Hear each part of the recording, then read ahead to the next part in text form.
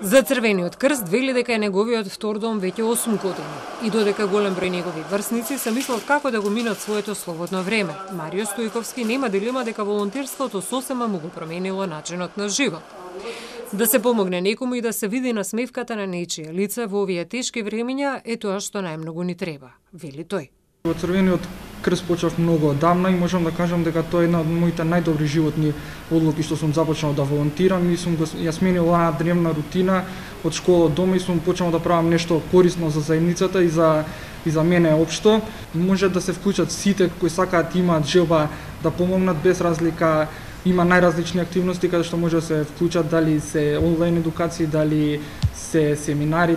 Самото волонтерство имало голема улога и во начинот на кој созревал, градејќи пријателства не само меѓу волонтерите, туку и со оние луѓе на кои им била потребна помош, вели Стојковски. Можеме да кажеме дека литата со попричано се едни од нашите најдобри другари и надвор активностите што ги имаме и за активностите, значи ние се слушаме со нив постојано и приватно се дружиме.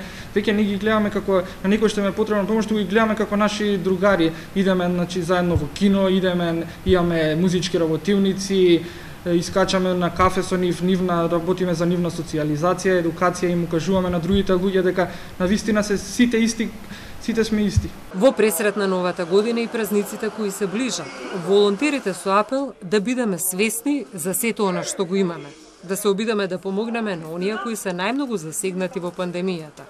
И при тоа да бидеме свесни дека некогаш малку треба за да го разубавите животот некому.